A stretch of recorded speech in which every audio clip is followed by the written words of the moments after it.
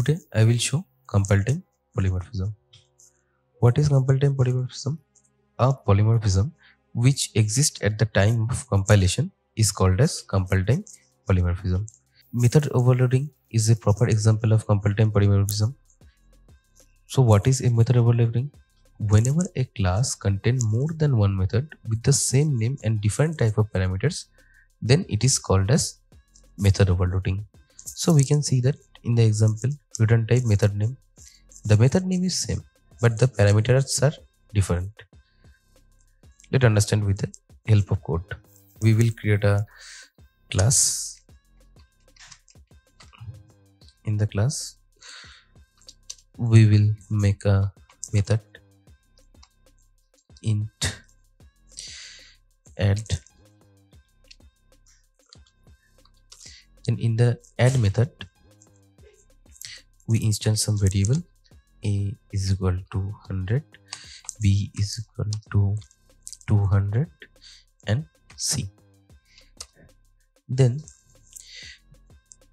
let multiply a and b and store it in c. Store so this is a int method. Then it will return the, the value of c. So we will return the value of c then we will make a, another method in the, that is void add then the method name is same and we will pass parameters. Let consider the parameter int x and int y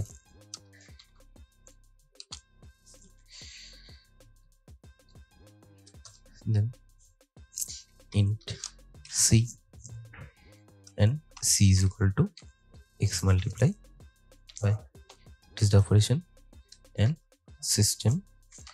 We will put the output of c.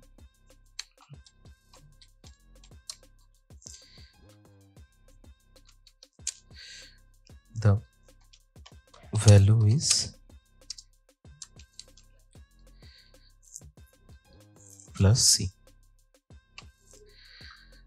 Then we will make another method same name but the parameters are parameters will be different. Let int x and double y. So we can see that the parameters are different. Then we will again instantiate c.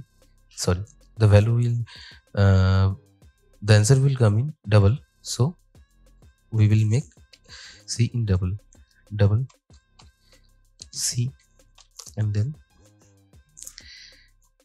c is equal to x multiply y.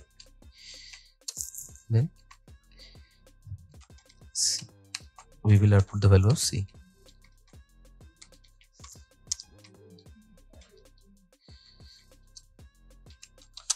The value is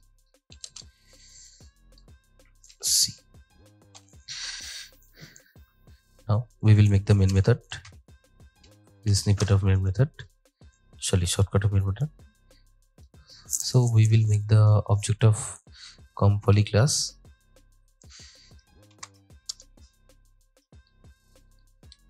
Is equal to com poly c is equal sorry is equal to new and we will make the object we have we have made the object then for this is a int method it will return the value of c then we also call the method of int add. So we will it we, we will initialize it. Int add is equal to c dot add. Then system dot we will output the first c's value.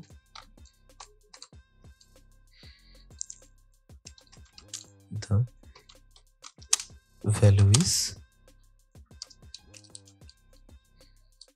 plus c.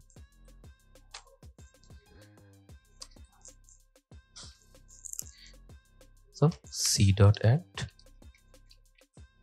and c dot add so we will pass the value of those parameters index and int and index and double y. So here the value will let 1000 and 2000 and here 10,000 and and see how okay that's fine. Sorry it will not sing it will add let's check the output. We can see that the first int add method multiplies c uh, multiplies a and b with c and store return the value of c and we call it here. Let uh, the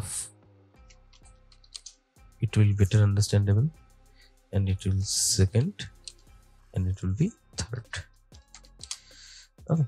So we return again. And the output came. Then same method with different parameters and the corresponding output. Then also the same method and also the different parameters. Then the corresponding output. So here's an all method name are same but parameters is different. So it is known as method overloading thank you